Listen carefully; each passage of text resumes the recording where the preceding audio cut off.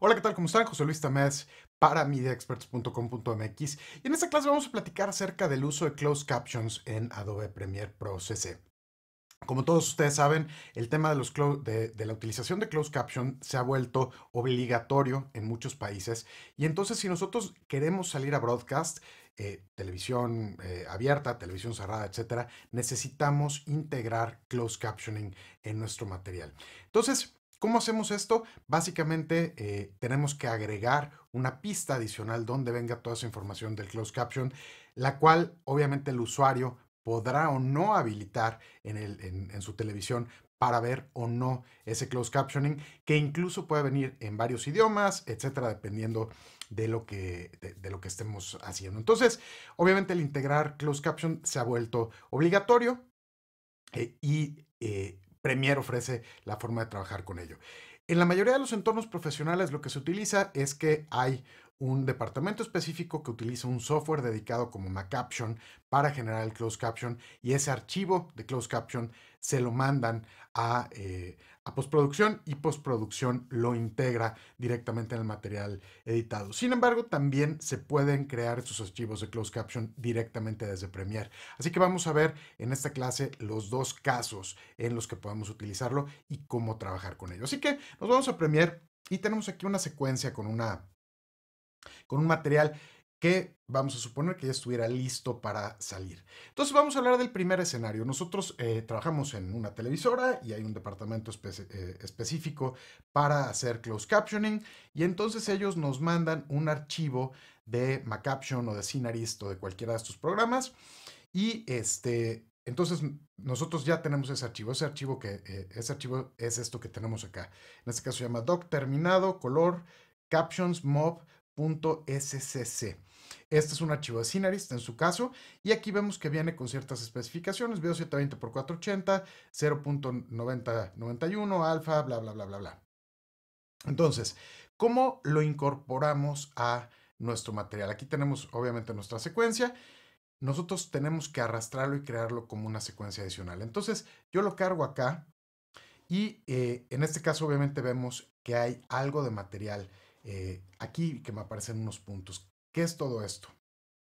Aquí estamos aumentando obviamente el tamaño de nuestra secuencia y podemos ver que esto tiene aquí ciertos closed captions. Sin embargo, el closed caption no está exactamente donde empieza el, audio. Nosotros sabemos que aquí está el audio. Entonces, obviamente, eh, nosotros tenemos que considerar y ver más o menos cómo funciona esto y ajustarlo de acuerdo a lo que nosotros tengamos. Esto puede ser porque a lo mejor la versión que se les mandó a los de Closed Caption fue antes de la terminada y se agregó tiempo, los de Closed Caption empezaron mal, etc. Simplemente nosotros podemos ajustar aquí y corregirlo y mandarlo más o menos a donde vemos que empieza el audio y entonces tenerlo de forma adecuada. Entonces yo vengo acá, sin embargo, no veo que haya material eh, de closed captions aquí. ¿Por qué? Porque no lo tengo habilitado. Entonces, yo le doy clic aquí a, las opciones del menú de Program y en la parte de aquí abajo tengo Captions Display.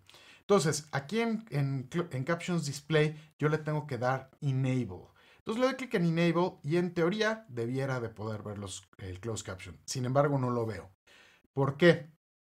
porque hay distintos estándares de closed caption. Si me vengo aquí de nuevo a Caption Display y a Settings, me da las distintas opciones. Aquí me dice bajo qué estándar están creados estos closed captions, como sea 708, sea 608 o teletexto. En este caso, este archivo que yo tengo está en sea 608. Entonces yo le doy clic aquí en 608, Stream CC1. ¿Por qué? Porque obviamente podemos tener hasta cuatro streams distintos de, closed caption. Entonces, eh, lo que les comentaba, podemos tener a lo mejor closed caption en español, closed caption en inglés, en otro idioma, etcétera. Aquí podemos seleccionar cuál queremos ver. Le decimos closed caption 1, le damos clic en OK y entonces yo ya veo aquí en mi pantalla mi closed caption. Ya eh, me está previsualizando sin ningún problema el tema del closed caption aquí. Entonces, yo obviamente ya puedo empezar a trabajar y en la mayoría de los casos Vamos a suponer que, eh, confiamos en eh, la gente de closed captioning y el archivo debe estar bien. Sin embargo, Si no está bien, podemos nosotros ajustarlo. Aquí estamos viendo que, por ejemplo, eh, aquí termina el closed caption y todavía tenemos un pedazo más de audio. Si nosotros vemos acá, vamos a, vamos a movernos y vemos que aquí todavía tenemos un poco de audio y en esta parte el closed caption se corta. Entonces se corta antes de que termine nuestro audio. ¿Cómo lo ajustamos? ¿Cómo lo, cómo lo trabajamos? Es muy fácil. Nos venimos aquí a Window y en Window tenemos la opción de Captions. Entonces me abre una nueva ventana aquí que se llama Captions, donde nosotros tenemos la posibilidad de ajustar eso. Entonces yo selecciono aquí mi pista de Captions y si vemos, aquí me aparece eh, cada uno de los closed captions. Dice, siempre desde chamaco me gustó restaurar y los coches. Aquí dice, siempre desde chamaco me gustó restaurar y los coches. Entonces, vemos aquí más o menos cómo está.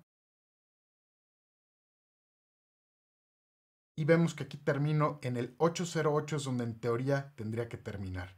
Entonces, si yo me vengo aquí, yo tengo un punto de entrada y un punto de salida. Mi punto de, salida es 807, sin embargo sabemos que tiene que ser 808, entonces yo aquí lo ajusto, le doy Enter y entonces lo que pasó es que ahora el, el audio, va, el, el closed caption va a terminar en donde yo lo especifiqué, en los ocho, en los ocho cuadros.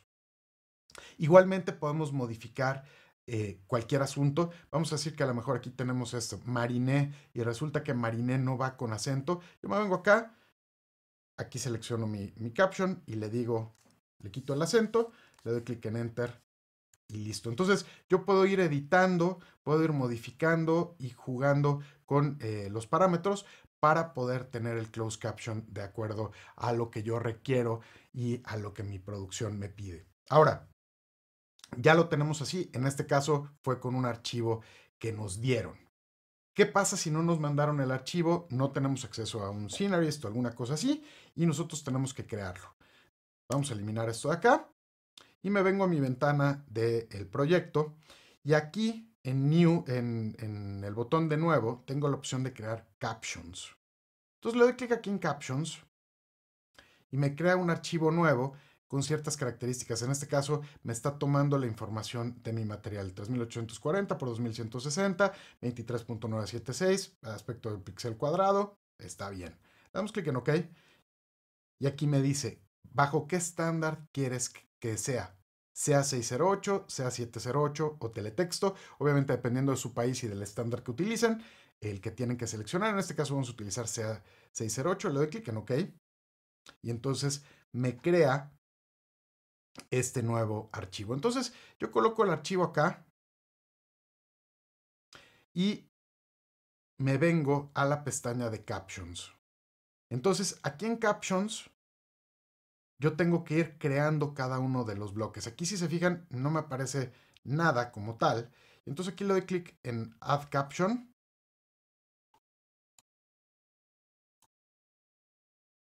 y me aparece aquí la opción de Type Caption Here. Entonces aquí vamos a ponerle texto,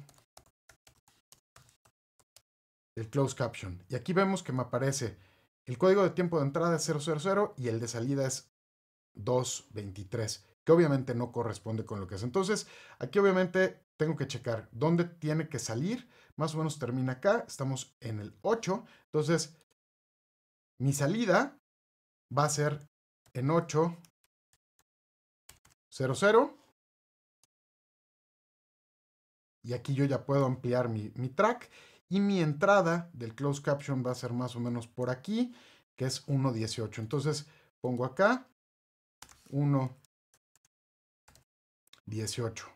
Entonces en automático yo ajusto la entrada y la salida de, eh, de mi close caption. Entonces, yo me vengo acá y vamos a crear el siguiente. Le doy clic aquí en más y entonces me crea otro bloque. ¿Dónde quieres entrar? Me vengo aquí más o menos. En este caso es 1009. Obviamente yo puedo darle clic aquí, copiar el código de tiempo. Lo pegamos acá, 1009. Me vengo aquí al final, más o menos. Copio mi código de tiempo. Lo pego aquí. Amplío mi track Y entonces aquí pongo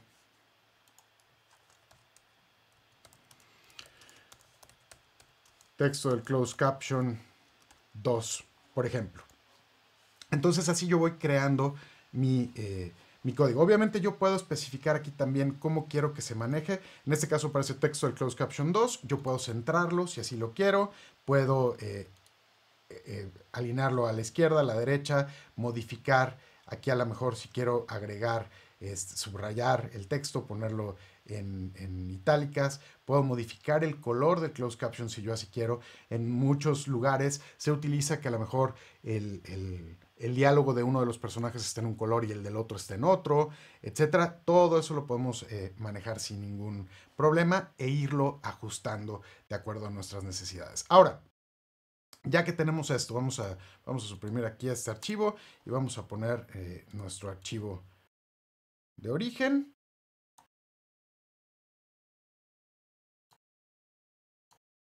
Y ya estamos listos. Ahora, ¿cómo exporto el archivo con closed caption? Entonces, vamos a suponer que yo fuera a salir, mi servidor de playout requiere un archivo en, en, en DNX, por ejemplo. Entonces me vengo aquí, selecciono mi secuencia, le digo File,